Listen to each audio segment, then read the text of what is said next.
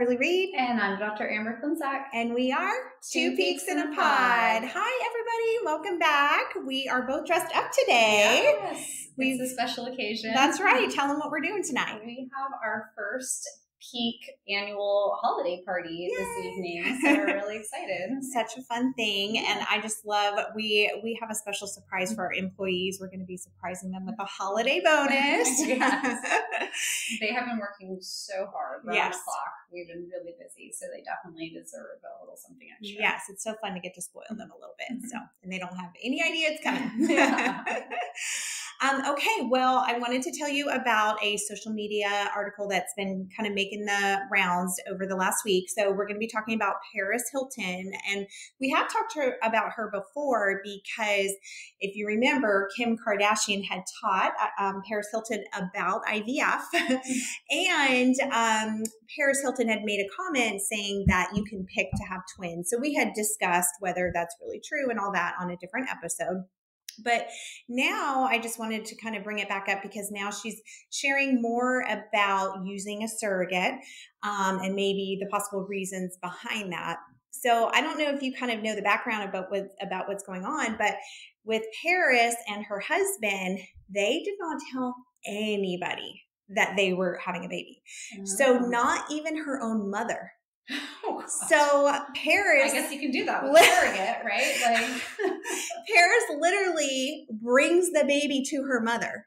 Oh and and is like surprise. Okay, that would make, that would make for some really great reality television. Was this on her show? Yes, okay. yes. okay. And um, it is actually very interesting mm-hmm. interaction mm-hmm. because I mean the mother is stunned, crying, yeah, but also really hurt.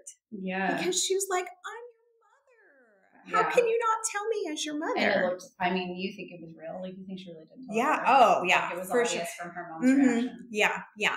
And so Paris actually has two kids now. So that's what she did for mm-hmm. her first one. And then she just had her second one now. Okay. She did do the same thing again where she didn't tell anybody, except this time she did tell her mom and her sister. She told those two people. But besides that, kept it totally a secret from everybody and really made the announcement with here she is. Here's my baby. Oh my gosh. what is her motivation behind such secrecy? Yes. Well, I think this is a good point.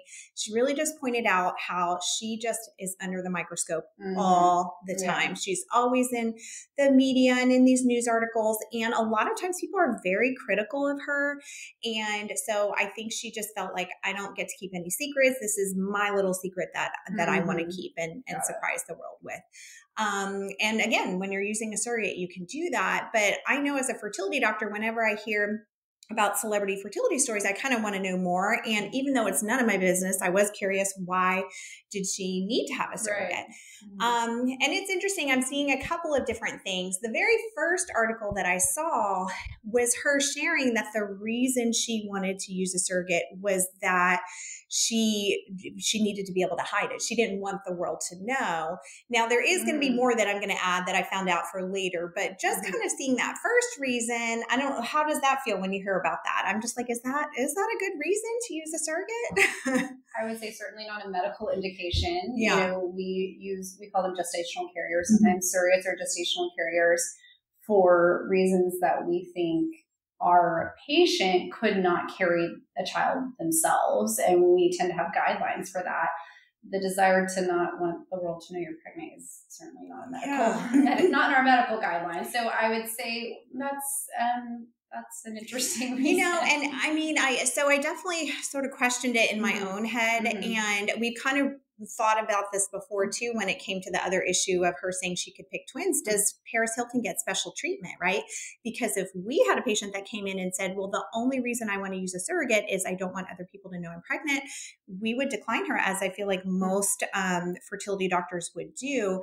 And so then I'm like, but why does she get special treatment where she's allowed to do that? Is because she's rich and famous, and you know. Mm-hmm. And I think too, it's so hard because surrogates are hard to find even if somebody has the resources to pay for the process in the surrogate, even so, sometimes there's waiting lists or you need to find, and so it's kind of like, is that really fair that somebody who could be a surrogate is being used in, for this reason when maybe there's other more legitimate reasons to use one? But right, or even maybe like pushing the cost of surrogacy mm-hmm. even higher, higher, sure. higher for the yeah. people that it already feels really out of reach for. I mean, yeah. Mm-hmm. Surrogacy is very expensive, mm-hmm. and that's something mm-hmm. that we should maybe even discuss. Yeah, it can be really pricey, and sure. so for most people, I think the obvious reason why they wouldn't just choose a gestational carrier or a surrogate because they don't want people to know they're pregnant is that they can't just afford to do that mm-hmm. for that reason alone. They're mm-hmm. really doing it no, I don't want to say out of desperation, but out of like that's the last resort. You yeah. know, you have to use a surrogate because it's your only option. Yeah. But I think certainly if you have a lot of means and you know money, mm-hmm. then you can pay someone to do that. Probably a lot of money. Yeah, yeah. And I mean, it's it's hard because I will admit that's a little bit of my judgy self, mm-hmm. and again, none of my business. But two, when you look at all these celebrities, look at this small group of people. So Paris Hilton and Kim Kardashian and Khloe Kardashian, who've all used surrogates, right? Mm-hmm. And I know with Kim and Khloe, I think they both said that they had medical reasons to do so. Um, Kim has said what her medical reason was. Khloe, we don't really know exactly, but they've said it's a medical reason. But it just may, does make it seem like, is it that common? You know, and mm-hmm. and you mm-hmm. can't help but kind of wonder, are there other reasons that that they want to use a surrogate. But I will say it did seem like maybe that article or the little snippet I saw about that being the reason may not have been the whole story mm-hmm. because I did see an article that just came out yesterday where she really um, opened up more about her PTSD and severe anxiety when it came to potentially being pregnant and having a baby she did have a really rough time apparently growing up. Um, I think she just wrote a book and I haven't read it yet, but really kind of describes some very traumatic circumstances. I think she was raped. She um, had been put in a boarding school where she suffered some sort of abuse and everything. And because of those traumatic experiences, she, I guess, when she thought about being pregnant or giving birth, um, would get very, very anxious and, and all of that. And so I want to get your take on that. Do you think that is a more legitimate reason to use a gestational carrier? I can say I've actually never had someone use a gestational carrier for that reason. Um, and maybe that's just, I have never been approached for that, mm-hmm. but perhaps maybe more. I mean, I think mental illness is a mm-hmm. disease. It is yeah. a medical reason. So I think, mm-hmm. yeah, it's probably a little bit more legitimate uh, yeah. idea as to why someone might need to use a gestational care. Certainly not in my realm that I've seen on a regular basis or mm-hmm. heard of people using it for. But yeah, I mean, I do believe that mental illness yeah. is a medical reason. Right, right. Yeah, I mean, I, I, I agree. I mean, I think that's certainly a more reasonable um, thing to do. But also, I think probably primary interventions that we would have wanted to help and offer with is counseling mm-hmm. and therapy to also just really help somebody sort through those feelings and see, you know, hey, is there a way to really just help comfort you through the process and make it feel like a safe process and, and all of these things um, instead of, you know, going straight to surrogate. I don't know if those things were, you know, offered to her. Hopefully they were at the time, but um, probably the approach we would have used would maybe use it as a last resort after trying, maybe, you know, maybe some other things Definitely. first, right? Definitely. Um, Okay, so I want to talk about a couple different things then when it comes to using a gestational carrier. So, first, I do think we should talk about what are all the different reasons that somebody might need a gestational carrier. I know you mentioned a couple of them. Yeah, so I would say it kind of falls into you know you the patient mm-hmm. already have pre-existing medical conditions that maybe make it unsafe for you mm-hmm. to carry a baby and we can talk about the list of those mm-hmm. and then there's also things that you may not find out about until you're actually going through fertility treatment and you have tried to get pregnant with your uterus and things are just not going well mm-hmm. you know there's something going on with your uterus your environment and you're not able to get pregnant with your own uterus so some things you may already know exist and are happening to you and some things you may find out after going through fertility treatment um, but I would say probably first talking about medical conditions. Mm-hmm. So things that I've you know seen people use gestational carriers for mm-hmm. were very severe, you know, kidney diseases mm-hmm. where we know that their kidneys are just not stable enough to support a pregnancy. Heart conditions can also be that way if you're going to put too much stress on the heart or other underlying, um, you know, heart conditions, arrhythmias, things like that that we know about going mm-hmm. into um, congestive heart failure, that sort of mm-hmm. stuff, where you can't get someone pregnant because mm-hmm. they would really put their health at risk. Mm-hmm. And I mm-hmm. would say kidneys, heart, um, weight, yeah, you know, could mm-hmm. be a reason. Mm-hmm. Obesity, what are some of the other big ones for medical yeah um, i've had a few too mm. where maybe the medical condition is not as severe but sometimes their medical condition may require that they be on a certain type mm-hmm. of medication that mm-hmm. we know is teratogenic that That's could cause true. birth defects mm-hmm. in the mm-hmm. pregnancy um, so i've had that one um, come up before or there are some very interesting medical conditions where as women we can be born without a uterus mm-hmm. um, at all there is no uterus or sometimes our patients have had a hysterectomy and and then want to be able to have um, a baby afterwards. So I think those are some of the other medical conditions that um, that I can think of off the top of my head that I've treated um, for gestational surrogacy. So.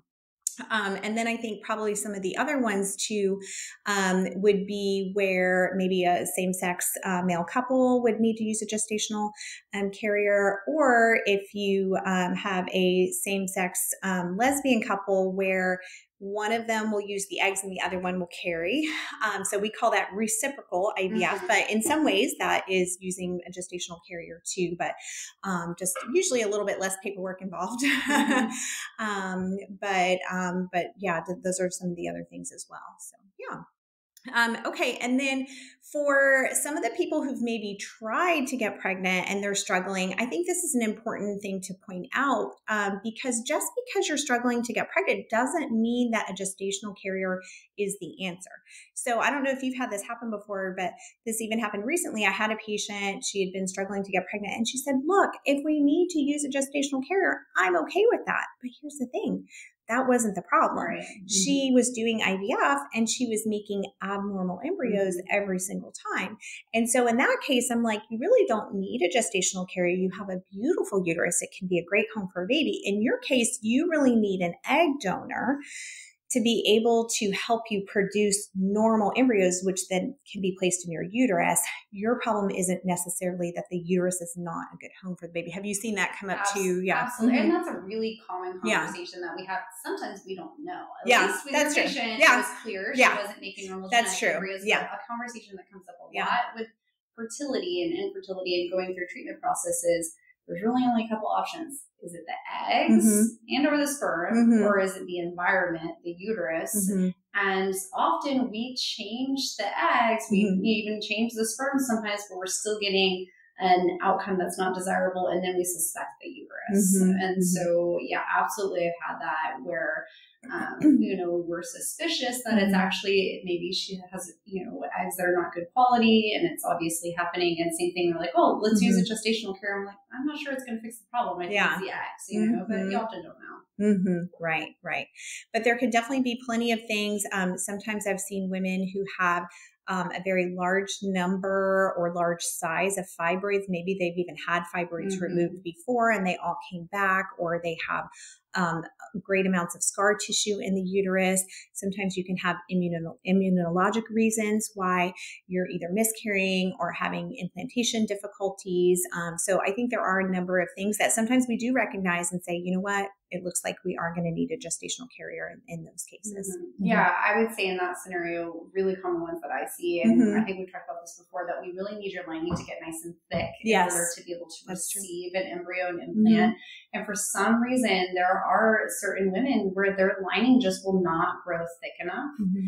And I'm very strict about lining. I will not um, risk doing a transfer with thin lining because there's actually some pretty good data to mm-hmm. show that you can have abnormal results in the pregnancy and the way the mm-hmm. placenta develops, putting the baby at risk mm-hmm. and causing a myriad of complications. So I just don't do it. And yeah. so when I can't get someone's lining to develop, I'm mm-hmm. always talking about mm-hmm. surrogates, gestational carriers, because mm-hmm. that really is the fix. If your lining isn't going to get past a certain point, we can try mm-hmm. every medication that's out there, every supplement to try and get it to grow, but often it's just something intrinsically wrong with the lining. And mm-hmm. sometimes it's that it's thin, sometimes it's thin and there could be liquid or fluid in the mm-hmm. lining that continues to persistently be there. Mm-hmm. We see this a lot when someone's had a prior C section yeah. and the C section makes a little scar in your uterus where you had it sewn up mm-hmm. and then that scar just for some reason releases fluid that goes and seeps back down into the cavity and we just can't seem to get it to go away. That's a really common one that i've seen happen. Yeah i've actually had some interesting conversations with obgyns recently because it does seem to me and i think actually we've seen some together it seems like we're seeing more of that over time. It's called an isthmocele where you get a little collection of fluid where the c-section scar was that can affect pregnancy implantation and can increase risk for miscarriage and, you know, I used to hardly ever see it. Now I'm seeing it more commonly. And what's interesting when you talk to OBGYNs is a lot of them did change the way they close during a C section. So I'm really old. So back when I used to do C sections, you had to close the incision in two separate layers. And we did something called imbrication, which was this way of really building up and bringing back together those layers. But there were studies that came out later that said maybe you don't really need to do that. And so a lot of modern OBGYNs do a single layer closure on the C section incision um, for the uterine wall. And the studies had said, oh, it's fine, right? But here's the thing about studies sometimes they're not great at being able to discern very small changes. So it could be that only a very small women are affected by this change and it may not show up in a study. Mm-hmm. And so this is a discussion that we've been having, I think, in my field is is that something that needs to be reconsidered? Should we maybe go back to the old way of closing in two layers? Um, because maybe for some women, that is not allowing the C-section scar to um, heal appropriately or properly. So, mm-hmm. absolutely. Mm-hmm. Another sort of example that you reminded me of yeah. that I've seen, and again, this is not based on the data, the literature out there, but just anecdotal what I've encountered. Mm-hmm. Um, going looking at a lot of different IVF cycles mm-hmm. is that occasionally when someone has an IUD placed mm-hmm. and then we pull the IUD, mm-hmm. their lining will not develop mm-hmm. and get thick. Mm-hmm. And um, obviously, there are millions of women out there mm-hmm. that get IUDs placed, pull them out pregnant the very next yeah. cycle, mm-hmm. clearly don't have anything wrong with their lining, but there is there must be some subset of women yeah. because they're able to get pregnant, proliferate their lining fine, and then get an IUD placed. And I don't know if it's something about the timing of the IUD mm-hmm. placement? Mm-hmm. Is it that it's maybe being placed immediately postpartum, mm-hmm. or you know, I don't know what it okay. is, but interesting. We've yeah. seen this, and okay. the reason why it actually came up uh-huh. is because our we would screen all of our gestational carriers, our surrogates. We go mm-hmm. through a really strict medical history, make sure we think they're going to be good mm-hmm. surrogates to carry babies, and we also look at their lining. Mm-hmm. And people who had an IUD in place, we would have them pull it, yeah. and we would do an ultrasound to look at their lining mid cycle, and we would find that sometimes their lining just does not get thick wow. and, it, and okay. could not explain it. Yeah. Right. Can't yeah. explain that. And yeah. they're not women that are trying to get pregnant on their own right. anymore. So they don't worry about their lining. Right. Right. Yeah. Well, and it could be too, maybe it needs more time to wear mm-hmm. off than mm-hmm. previously what we thought. So that's interesting. Very interesting. Yeah. But mm-hmm. again, no, no studies about that doesn't show that yeah. something and I love IUDs. I'm not saying don't yes, yeah. just and yeah. just out of curiosity, did it matter what type of IUD? Was it like a progesterone. IUD? Okay, that's what yeah, I figured. Yeah, yeah, yeah, yeah, yeah. Okay, well, and then you kind of were starting to bring up, I think, gestational carrier um, screening. So first of all, once you've identified that you need a gestational carrier, you have to figure out how do you find a gestational carrier. They're hard to find, right? So where would you usually tell somebody to start? Agencies. Mm-hmm. So we have a couple of agencies that we recommend mm-hmm. and agencies are nice because they do a lot of the screening for you. Mm-hmm. They'll send you basically a packet about the surrogate that potentially is available, maybe even a couple of them to choose from. And then once the surrogacy agency and the patient like one, then we review their medical history mm-hmm. um, and criteria and all of that. Mm-hmm. And you know that would be what's called a, um, like an unknown surrogate, someone that you don't know. You can also always consider using a known surrogate or a known gestational carrier, someone that may be related to you or a close friend. Um, and so we have I have had people carry for their sisters and things like Which that. Which I always th- think it's so sweet because I remember you saying you would carry for your sister. Definitely. I, I would. I just was always so stressed out during pregnancy. I'm like, I love my sister, but I think she and I both are like, just we're like, no, thank you. um, but um, but I think this brings up a good point too. When it comes to us screening a gestational carrier for our patients, we understand that there is so much time and emotion and cost and everything that goes into the process that we are focused on what is going to give us the highest chances of you getting to bring home a baby from this process. And because of that, we're pretty strict on who we let somebody use as a gestational carrier. And I think that can sometimes be frustrating for the patient Absolutely. and frustrating for the agency because look, say, the agency yeah. just wants us to sign off on anybody, right? Yeah. Because that's for them, they're going to make money off of that. They're doing well, you know. And so I've definitely felt pressure before from agencies, mm-hmm. almost trying to make me feel like, well, no other doctor is as strict as you are. And then I ask the other doctors, they're like, no, of course we are. No, yeah. but you know, I, cause then I start to doubt myself and I'm asking the other doctors, would you accept this patient? They're like, absolutely not. Don't right. let this agency try to pressure you into using a carrier who is not a right. good candidate. Right. And mm-hmm. it comes down, you know, for our listeners out there that maybe you're considering using a surrogate, it comes down to the safety of the surrogate and the baby that they're going to carry. Mm-hmm. And when you go through a surrogacy pregnancy, obviously you've already been through IVF and probably even a lot of fertility treatment. The last thing in the world that you would want to happen is a negative, dangerous outcome for your baby that you mm-hmm. worked so hard. So the reason we have these really strict guidelines is so that something bad doesn't happen. That's the only reason. Yes, absolutely. Um, and then I will say too, sometimes there's some state regulations involved. So, for example, up until just a few years ago, it wasn't even legal to use a gestational carrier in New York, for example. And that always surprised me because New York always strikes me as a state that's very progressive and mm-hmm. modern and everything. So, the fact that it wasn't even until recent that you could use a gestational carrier always surprises me. In Texas, we've been able to use gestational carriers for a long time, but we do have restrictions, such as the fact that you have to have a legitimate legitimate medical diagnosis to use a gestational carrier. And the gestational carrier has to have given birth herself before, which I think mm-hmm. is interesting, right? Yes. Um, and you kind of think, why would that be? And the legal standpoint is that the gestational carrier needs to give consent. But they feel like in the state of Texas, you cannot truly give consent unless you understand and know what pregnancy and childbirth is like already. And so I think that's kind of an interesting restriction. So I've had a patient before that wanted to use her sister as her gestational carrier, but her sister had not had a baby before. And so we were not able to do that. So she had actually planned to go to Canada. Um, because mm. she said in Canada they didn't have that restriction. And then she ended up not doing it anyway. She ultimately ended up being able to carry because her medical condition um, resolved. Um, but that was kind of an interesting process just to kind of learn about the legalities of, of that. Yeah. And you kind of wonder too, for the other restriction of medical diagnosis, mm-hmm. how can how far could you stretch yeah, something to right. kind of fit that criteria? I'm always yeah. curious what people are putting into that box. Sure, sure. Yeah. Um, so let's just talk about because I know we like to, of course, review the patient's mm-hmm. medical records mm-hmm. when somebody wants to be a gestational carrier. And so, what are some of the things that you would like to see in the medical records, and what are some things that would be total deal breakers for you? Probably the most important things that I look at is mm-hmm. their prior pregnancy mm-hmm. records um, and how they did during that pregnancy and how the deliveries went. Mm-hmm. That is what I really pan through. And all the time, agencies send over packets and yeah. they don't have the delivery note, they don't have mm-hmm. the prior pregnancy. So I'm like, no, I need every single pregnancy's mm-hmm. records. So, um, really, really important to see how they did with their pregnancy. Was mm-hmm. the baby healthy, growing appropriately? Were they healthy? Did mm-hmm. they deliver at term? How did they deliver? Did they have a C section or a vaginal delivery? Did they have complications during the pregnancy or during the delivery? All mm-hmm. that's really, really important. Mm-hmm.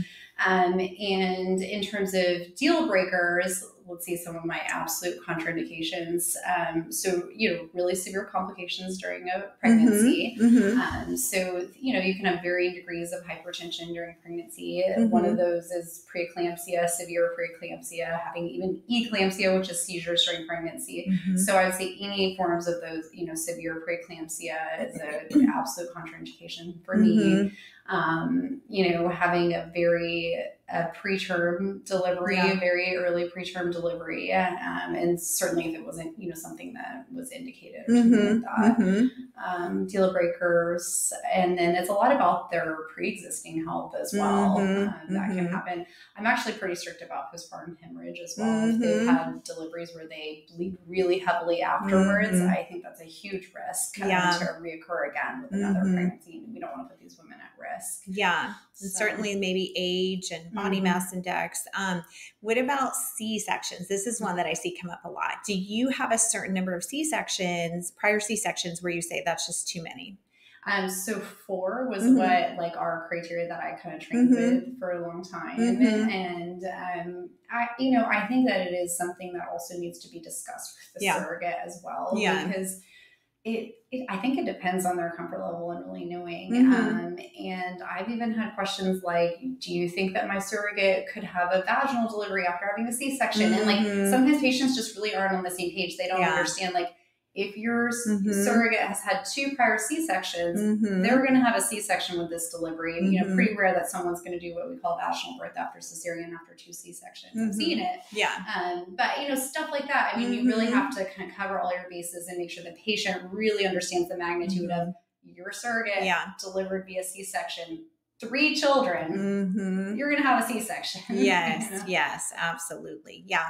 Well, and I think it kind of brings to mind too um, some of the complexities in terms of legality of gestational carrier. Mm-hmm. So, um, so there's a couple of different things, and it's state by state as when the baby's born who is the mother at that point. Mm-hmm. And so there's some states where you can have an agreement set out ahead of time. There's other states where you technically have to adopt the baby from the gestational carrier. And I mean, it can be very complicated. So I know that as part of the gestational carrier process, we have a third party nurse who coordinates the whole thing and she makes sure that everybody involved has gone through a checklist of items, including having counseling done, including having certain labs and testing done, medical record review, and importantly, legal. You have to have decided these things ahead of time as to how many embryos are going to get put in. And even if you only put one in, which you should do in most cases, what if it splits into two?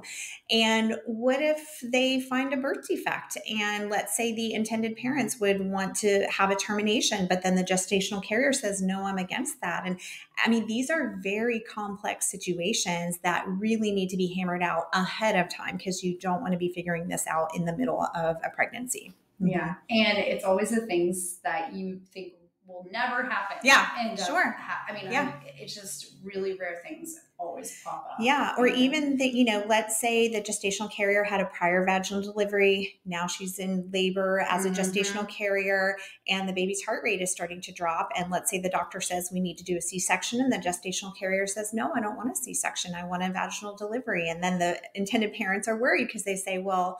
we we want you to have a you know these again are very complex issues um, and could i could maybe understand this both sides to it but you've really got to get it all set out from the very beginning so that you don't run into issues or problems later because it is very complicated mm-hmm, mm-hmm. Um, okay so i also wanted to talk about just kind of knowing the intention of using a gestational carrier. So there's kind of two situations. One is a patient comes in and they know from day one, I need to use a gestational carrier.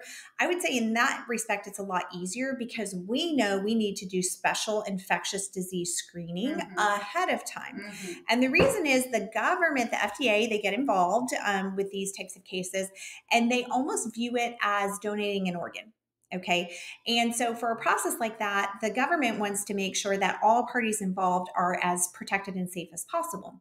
And so, if we have a patient that is um, going to use a gestational carrier, then she and if she has a male partner, she and her partner would have to undergo special lab testing, FDA lab testing. They need to undergo a special questionnaire. They need to have special physical exams and everything. And this has to be done right around the time of embryo creation so that when we have embryos, we can later show the gestational carrier hey, they've we've they've been tested and screened for everything this should be safe for you to have an embryo implanted right absolutely but yeah. then what happens if we didn't know the patient was going to use a gestational carrier mm-hmm. let's say the patient did IVF. Let's say she made three embryos and they put two in, they weren't working, and we found out she had some reason that couldn't be corrected. She's got one embryo left. Can she still use a gestational carrier? Yes. Okay. How, so we yeah. have been and we usually have a waiver to sign, basically saying yeah. at the time of um, embryo creation, and gestational carriers counseled and understands that as well.